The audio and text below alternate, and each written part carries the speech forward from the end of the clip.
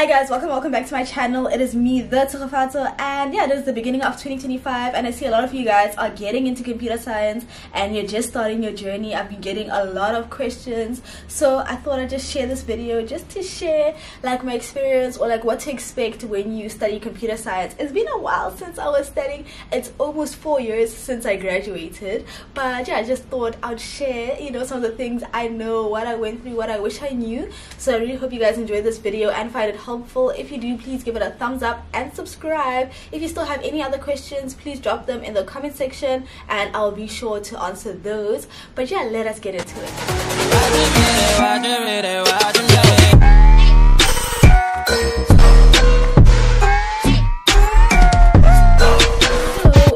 Comes to computer science, like what can you expect from the degree? So first of all, it's not just coding. So once you study computer science, it's a whole lot more than coding. You might even have to do some other science subjects like geology. That's what I did. I had to do geology in my first year, and you also do other subjects like statistics, a whole lot of math.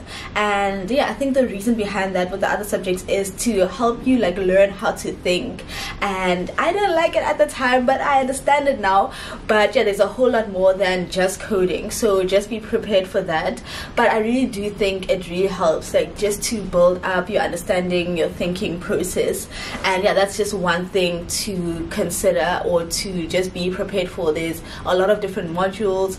And yeah but it's a whole, it's a whole lot of interesting things. And it's such a great time to build that foundation. So in my first year i did um, modules like um, operating systems. And it just really like gives you that understanding. And i know a lot of uh, something that a lot of people are scared of when they get into computer science is not having like that coding background. So it is a very like fast-paced environment and it can be challenging at times. It's like a whole lot of new information but they do get started from the beginning. So you don't have to have like that background knowledge of um, like coding. It, it is great to have it. I started coding when i was like 14 so it really did come in handy for me to have that knowledge but you're going to learn a whole lot of things from the beginning. And guys take it seriously.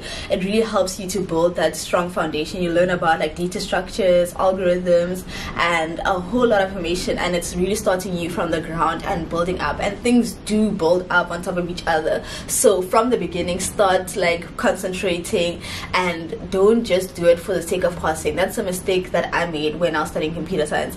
I I was just like, okay, as long as if I give my 50%, I'm good and then I'm out.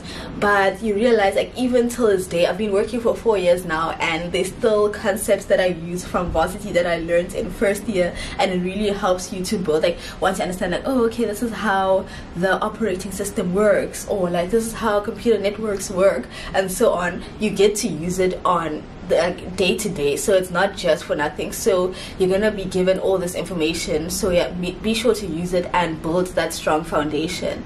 And it can be challenging at times. I know like in high school i used to do well and i didn't put in too much effort. It kind of like it just came easy to me. What can i say? But yeah i did well in high school. It wasn't too challenging. But once once i got to varsity it's like a whole new different environment and there's so many new things. Like varsity you might be out of the house for the first time. There's so many people different kinds of people and it can be a whole lot. And also like i think like that age is when you start having like real life problems. So there's you're also dealing with that. So it can be so much to deal with. But i think just focusing on like your end goal like okay if this is what you want focus.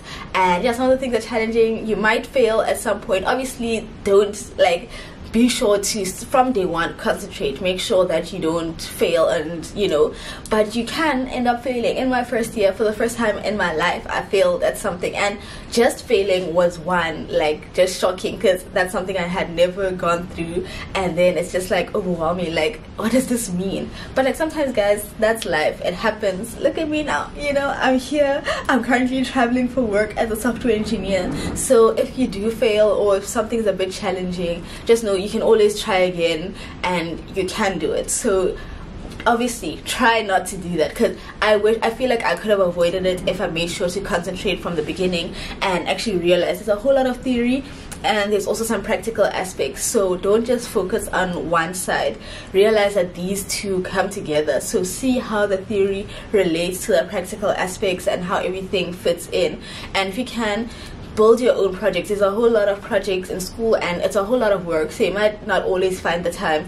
But be sure to also make sure that you actually like try to apply the concepts that you're learning build some side projects and see how you can apply that.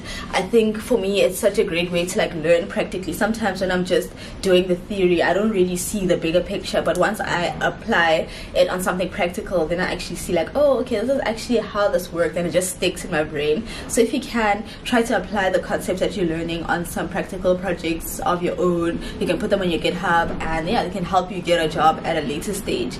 And guys, networking. I am super shy. I know you see me on this channel and I'm like, yep, yep, yep, yep. But I'm super shy, super quiet, super reserved. In varsity, I didn't really talk to people, and it's really important there were people that came to like talk to me and I made friends. So guys, if you're an extrovert, reach out to the introverts. They like they're probably just shy. They want to make friends and connect and you know. But if you're shy, like just try put yourself out there if you can. Try join conversations. Try to like you know in WhatsApp groups something. Just try something. But that is so important. There's people like till today that like are in my circle that I met like on the first day of school and now we share like opportunities. We learn together. We're still still growing together. So just meeting people is so good. Also, there's gonna be times like guys, it is a challenging degree, and it's good to have people that you can, you know, just work with, solve problems with. So just make sure, just try to be as involved as you can be. There's different ways. Whether if maybe if you're too shy on social media, try to see maybe if there's like a Discord or something that you can join where you can network with people but it's so valuable even like getting a job. Like my first like internship i got through a whatsapp uh, a friend of mine actually sent me from like a whatsapp group. So just yeah just make sure you're just in the circle so that you can actually network with people. There's usually like um, that's another thing that i didn't do enough of. There's usually like um, things happening like hackathons at school or like just some talks or whatever guys. This is such a great opportunity to be exposed to those things. And you're paying so much fees at the school. So make sure to use all the opportunities that you have at school. So just go to those events go to those hackathons to the talks and there's different groups. Like sometimes it's like like an ai society or like women in tech group or something. Make use of those resources. You really get to like meet people that you can stick with throughout life. You guys may, might build some really great projects together learn from each other. So do make sure to make use of those opportunities. Another thing is to kind of start looking at what you're interested in because computer science is so broad. There's so many different things that you go, can go into like web development mobile development development, uh, DevOps, AI like there's so many different things that you can go into. So I think it's a good time to actually once you like you actually get exposed to so many of these things. So start seeing like oh actually which like field do I see myself going into? Which parts do I like more? And yeah just just have that opportunity because you get exposed to so many different things.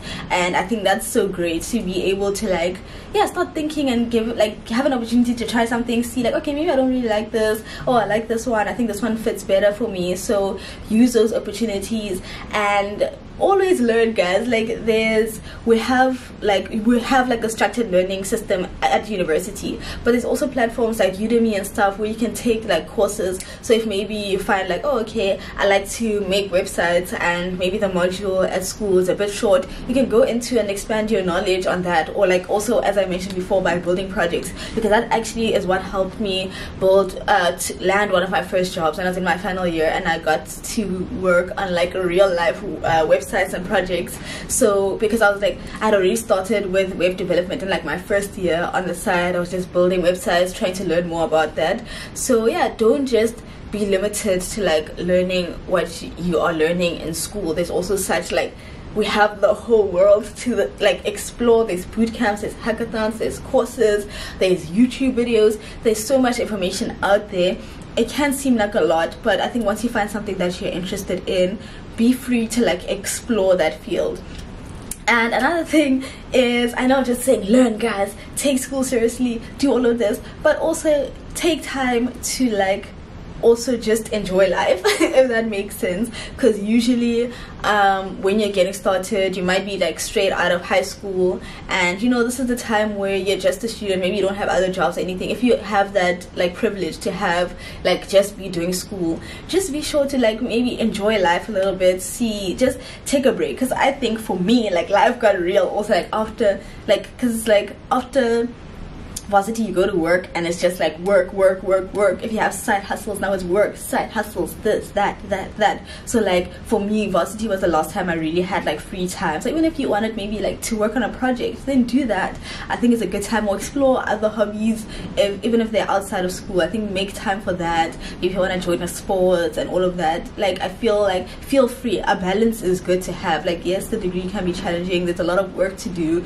but a balance is also good. So also make time for your hobbies. If you have them if you want to read go for a walk something do make time for that as well. And yeah i think honestly one of the biggest like takeaways from this video if there's anything you're gonna take away is just like focus on the basics and the key concepts. They're gonna teach you everything you need to know.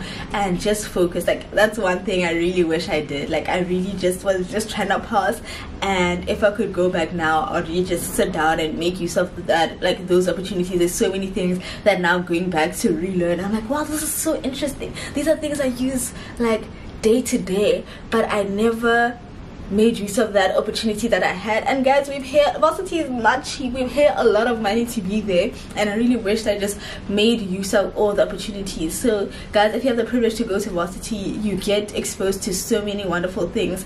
The information you learn is so great. So be sure to use it. Take your time and learn, guys. Like you know, that's all I want to say. Like just learn. Like it's really things that you are gonna apply once you start working. It's really things that are interesting, especially like if this is really something that you're interested in, you'll see that these things are so interesting. So yeah, just make sure that you focus on those key concepts because it just builds up on everything and it's not for nothing you'll get you'll get to a point where you realize like oh that's like this is why i was learning that because it affects this and this and that and it's so great to just have a broad understanding of everything. Yeah, that's my advice if you're going to study computer science, guys. It's a really fun degree. I really enjoyed it. Got to build some really cool stuff, and I get to do some really cool stuff even now. So I love that and yeah guys it's been a great journey and like I, I, wish you all the best for your journey as well. Like this is such a great opportunity especially if it's really something that you're interested and passionate about. You are gonna love it and it will be worth all the hard work and all the late nights and all of that. And when the code doesn't work and all of that. But yeah it's really such a great um, degree to study. I really enjoyed studying it. I learned so much. And I get to apply it now. So yeah if you still have any questions drop them in the comment section. I really hope you enjoyed the video and found it helpful. If you did please give it a thumbs up and subscribe. And i will catch you in the next one. Bye